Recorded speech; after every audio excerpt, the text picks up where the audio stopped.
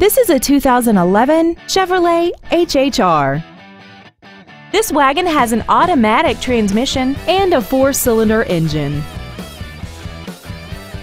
Its top features include a power driver's seat, performance tires, traction control and stability control systems, rear curtain airbags, and this vehicle has less than 26,000 miles. This Chevrolet has had only one owner and it qualifies for the Carfax buyback guarantee. We hope you found this video informative. Please contact us today.